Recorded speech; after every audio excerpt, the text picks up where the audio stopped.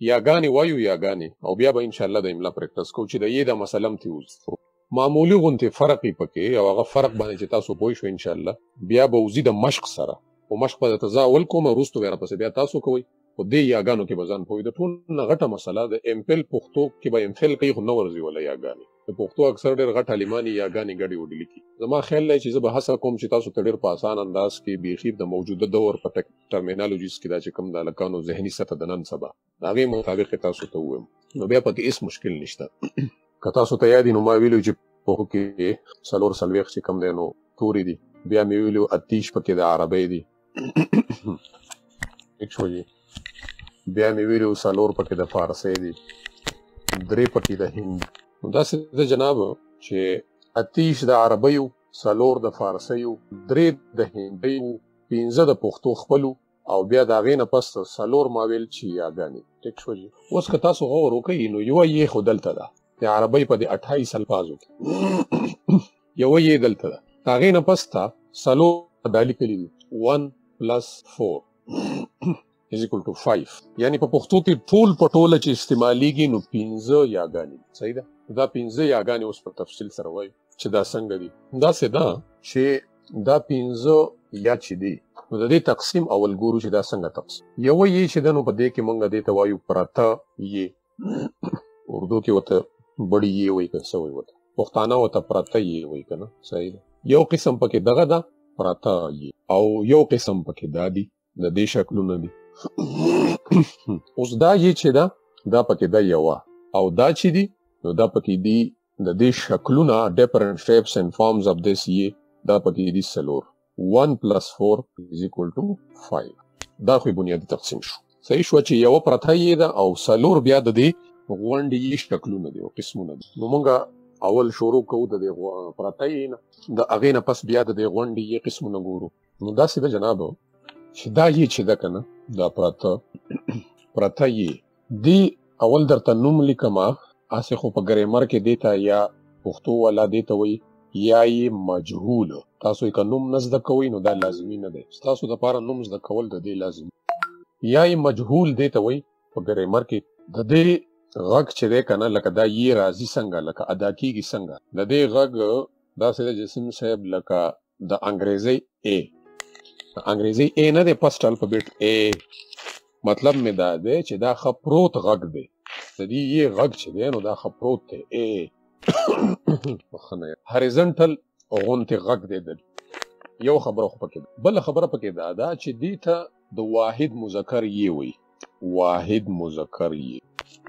د خبرې مطلب دا دی چې دا یې استعمالي اظهار د واحد مذکر اسمونو او فعلونو لپاره یعنې د واحد مذکر کلمو لپاره په پښتو کې دا است چې هغه واحد هم وي او هغه مذکر هم وي او د هغې نه پرته د هغې غږ چې دی نو هغه داسې وي لکه د انګرېزۍ ای پروت غږ وي د مثال په توګه باندې سړی سړی ړې ته وګورئ پښتو سټایل کې مو ولیکله پرون مې درته ویلي وو که نه چې پښتو کې وړه توی نشته کونډه ده پکې نو ری ته مې کونډه ولګوله نو ړې ته جوړه شوه سړی اوس سړی چې جناب واحد هم دی مذکر هم دی پښتو کې او غږ ته وګورئ کنه ای سړی نو داسې ورته غږ دی لکه د ای مثال په تور باندې بل لکه لرګی وډ سي غاف ته وګورئ کونډه مې ورته ولګوله پښتو املا ته پام کوئ سړی لرګی زمری خیال هم دی شعر زمری دا ټول ناونز چې دي کنه نو دا سنګولر هم دي او دا مسکولر واحد مذکر که په ورب کې وګوري کنه چې یاره ما ویل چې لکه دا خو ورب ظلم راځي او دا ناون ظلم راځي کنه کلمو د پاره راځي ټول ورډز چې دي او چې هغه واحد او مذکر نو مثال په تور باندې لیکلې زه اوس هم چې اسمت صاحب خط لیکلې دی لیکلې یا شوی دا کار شوی دی لې دا فعل چې دی نو دا واحد مذکر دی نو د خبرې خلاصه دا شو چې دا یې چې دا دا د واحد مذکر یې ده یو خبره دویمه دا چې د دې داسې غږ دی لکه د انګریزي ای پروت غږ دی پروت او دغه لاندې مثالونه شو دا به نور واضح شي خو چې کله موږ نور یاګانې ورسره ووایو نو لږ نورم واضح دویمه چې دا اوس ما تاسو ته ویلو کنه اوس په دې مخکې سلایډ کې دا ما تاسو ته ویل دا چې نه دا پکې صرف یو ده او سلور پکې د دې شکلونه دي صحیح ده دا ما تاسو ته وسوي نو اوس یو یې خدا 13 شو کنه دا اوس دا نور پاتې چې څومره دي کنه نو دا اظهار صاحب دا ټول د دې لاندې یې د دا غونډه یې چې دا چې په اردو کې وته چوټي یې وي غالبا د دې شکلونه به وس دا سلور وړه نو ګور وایوي په دغه ټولو کې په دغه سلورو کې لومبۍ داسې ده جناب اول داسې یې ده غونډه یې ده کنه او دې ته داسې غبرګ ټکی دي غبرګ مطلب دا چې سات سات پیرلل ایک سات ساید بای ساید دې ته وی غبرګ ټکی تاسو خیال له دوه ټکی دي ورته سات سات کنو مې لیکي هسې ستاسو د پر لازمي نه دی نو مې د دې نوم دی جناب یای معروف یای معروف خو که دا تاسو زده نه کوي نوم نو دا تاسو له څه لازمي نه دی اوس د دې غږ داسې دی کنه څنګه چې د دې غږ د انګریزۍ د ای و کنه د دې غږ داسې دی جناب لکه د انګریزۍ ای چې دی ای یعنی مطلب زما دا دی چې د دې بیخي ټیټ آواز دی ټیټ ښکته آواز دی بیخي داسې ورټیکل غږ دی دا پاس چې و نو د دې داسې پلین غونتې غږ دی هاریزنټل ای او د دې ټیټ آواز دی ای ای دا چې دا یو خو غږ دغه شو کنه د غږ نه پیژندل کیږي دا چې دنو دا څنګه د واحد مذکر یې ودای و دا د جناب د جمع مذکر یې د جمع مذکر یې صحیح ده یعنی دا استعمالیږي د هغه تورو د پاره د غلفاظو د پاره چې کوم جمع وي او مذکر وي اکثر دغه رنګونه استعمالي صحیح ده د دې نه علاوه دا د ټکي په منځ کې هم راځي، د لفظ په منځ کې هم راځي، هلته د دې سره کار نه وي چې دا جمع مذکر دی او که څه شی دی، هلته د ای اواز سره کار وي، زه مثال در کوم، لکه ګوره دا جمع کوي تاسو، دا سړی چې دی، دا سړی چې جمع کې کنه اظهار صاحب نو مونږ بیا څه وایو سړي، سړي وایو کنه، سړي، لرګی چې مونږ جمع کړو نو لرګي وایو، ووډز، ای، جی، سړي، لرګي، ښه، زمری چې جمع کړو جناب، زمري، یا زه وایم چې عصمت صاحب او صدام صاحب خطونه لیکلي دي علم دی جمع مې کړل لیکلي اوس دې ځای کې وګوره دا یې دلته هم راله دا دی دلته د دې سره کار نشته چې دا جمع مذکر دی او که څه شی دی دلته د ای اواز سره کار بس لیکلي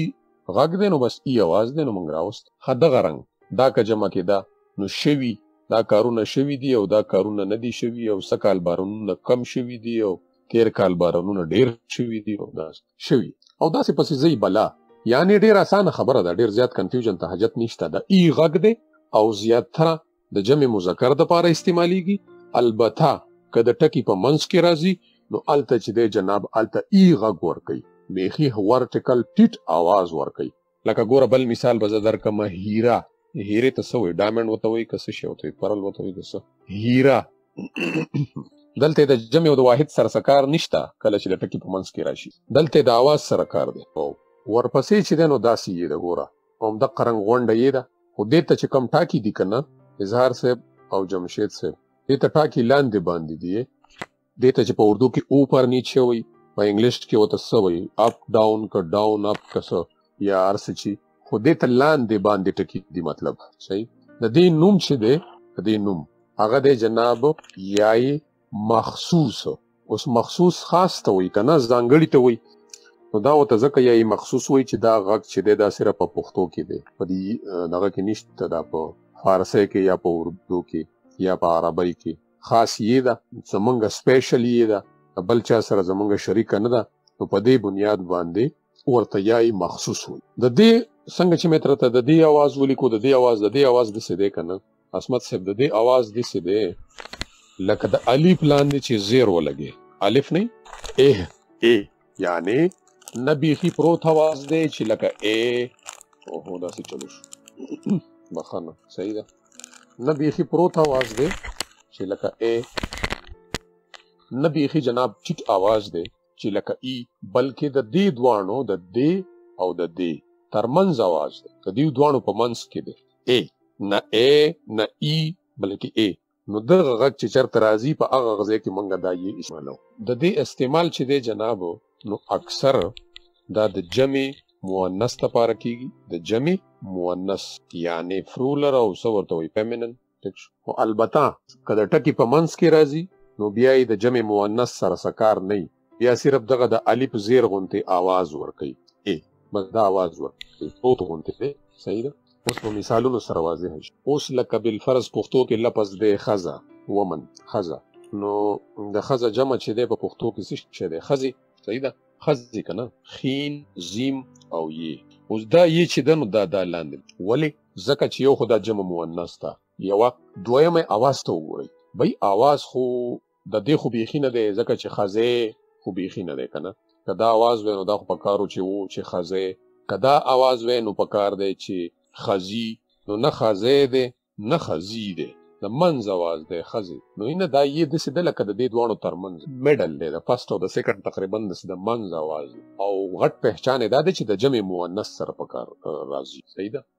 ښه اوس مطلب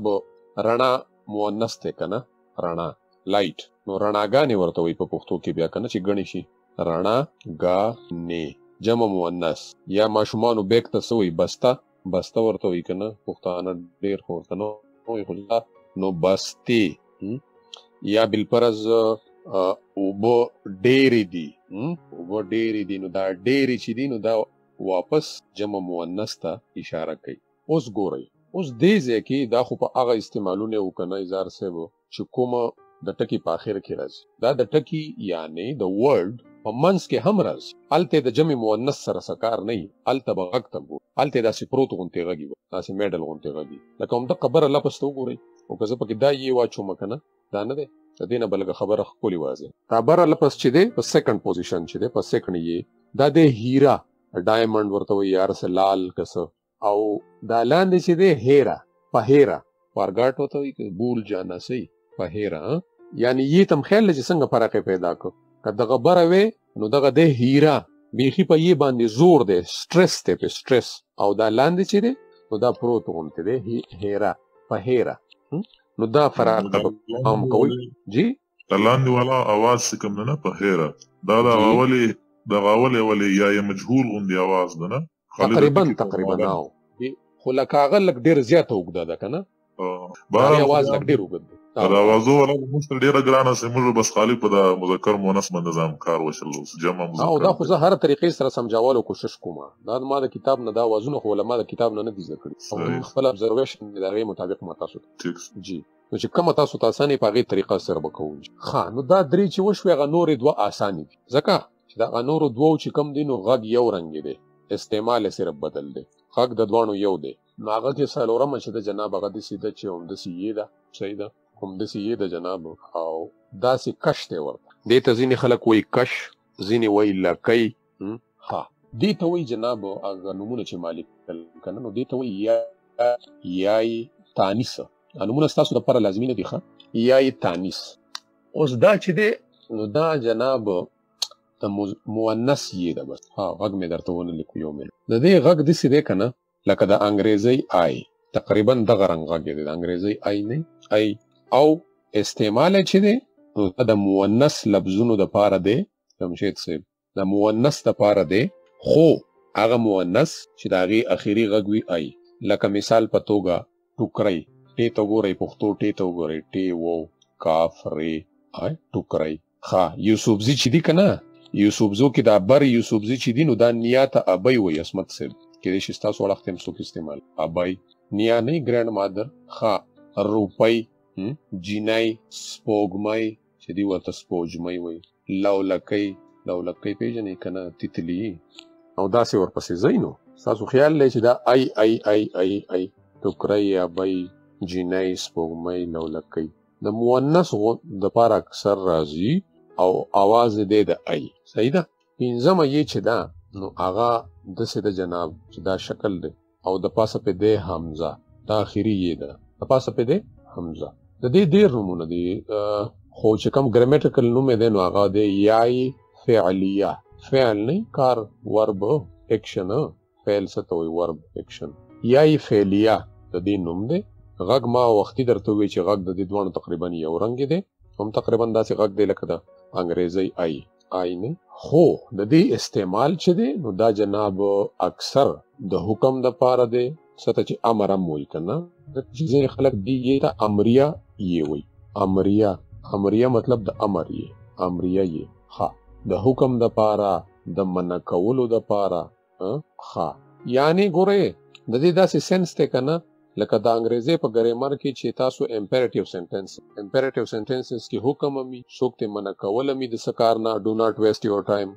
ډو دیس ډو دیټ اپا کې حکم شو ډو ناټ ویسټ یور ټایم دا منع کول شو ښه دې نه علاوه پکې خلک ویشز هم کوي که نه بیسټ ویشز هم کوي په امپیرټیو سنټنسز کې دعا هم کوي هغه ټول چیزونه په امپیرټیو کې راځي که نه انګریزي ګریمر خبره کوم نو دې ځای کې هغه سینس تاسو واخلئ چې تقریبا هغه ټول چیزونو دپاره دا یې استعمالي یعنې فعلونو دپاره دا استعمالیږي لکه څنګه لکه زه اوس تاسو ته وایم چې لاړ شئ لاړ چلې جاو که نه لاړ شئ نو دا حکم کوم تاسو خیال لې ها یا زوی مچ م راځي م راځي صحیح شو یا وخوري حکم دی یا م اودکیږي تاسو خیال لې چې دا څومره حکمونه دی او کس م اودکیږي ها یا دین علاوه راشي او لاړ شي او څنګه دا حکمونه دي خیا دین علاوه چې خلک دا دعا کوي کنه یا وشز کوي امپیرټیو ولا سنس لګ رایات کوي نو خوشحال اوسې هغه کوم دا ده اوسې خوشحال اوسې کوم خلک وو اوسې نو نو هغه ډبل وو استعمالوي دغه شانته خوښ اوسې خوښ اوسې مطلب خوشحال اوسې کنه خوښ اوسې ډبل وو استعمالوي نو ډیر بهتر دی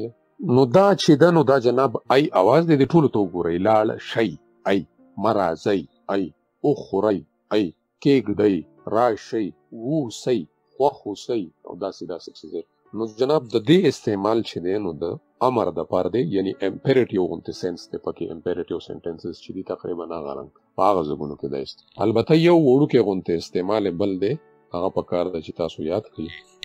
د پښتنو ځینې قبیلې چې دي نو په هغې کې هم په اخره کې ای اواز جمشید صاحب پښتنو ځینې قبیلې چې دي د هغوی نومونه چې دي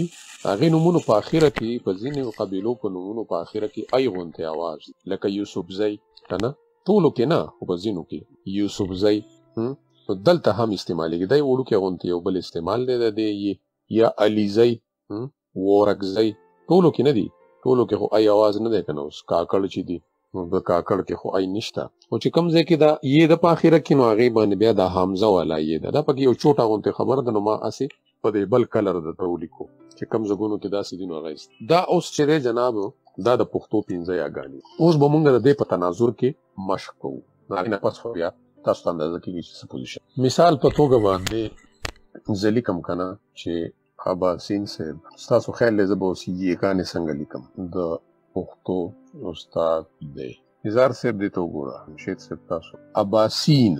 صاحب سیب نه صاحب او واحد مذکر دی اباسین تاسو خیال دی اوس که یو سړی د دې نه خو دې خو ولیکي که نه نو د سینه د چاغوي وسو ډېر هارډ اینډ پاسټ رولز کوي چې کوم کس دی دا مارک کوونکی او که یو سړی په دې اصولو باندې خیال وساتي نو هغه ته ډېر خوشحالېږي چې به یې د دومره وړو وړو نکتو ته پام کړی دی. نو ډېره اسانه ده، پرېشانه کېدو ته حاجت نشته، دا یې خو همېشه په اخر کې راځي یار. صحیح ده، دا خو بېخي په اخر کې راځي او واحد مذکر له راځي بس. ها، د دې خو بس دا خبره چې سړی زده کړي دې کې نور څه. دا یې چې ده، که په اخر کې راځي که نه نو جمع مذکر له راځي او که په اخر کې نه راځي په منځ کې راځي نو ای اواز. دا یې چې ده، دا، نو دا که په اخر کې راځي نو جمع مؤنثي. اکثر او که په منځ کې راځي نو لکه داسې ای غونتې اواز درې شوې دا چې ده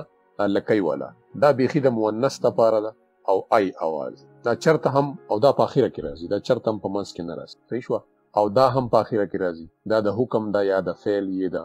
د دې منګرزه یای دی او دا هم په اخره کې نو دا خبرو ته کسړی پام وکړي د مشق سره د دې په رڼا کې مشق نو بیا نه خطا کیږي سړی اوله کې خو به خامخا خطا کیږي چې اوس نوې کار زده کوي او د لاس په خېدو سره بیا اواز ته بس سړی ګوري او لیکي بس او استعمال ته هم ګوري که تاسو ته اواز نه اسانه زده کیږي خو اوازونو ته وګورئ که اوازونو کې کنفیوز کیږئ نو استعمال ته وګورئ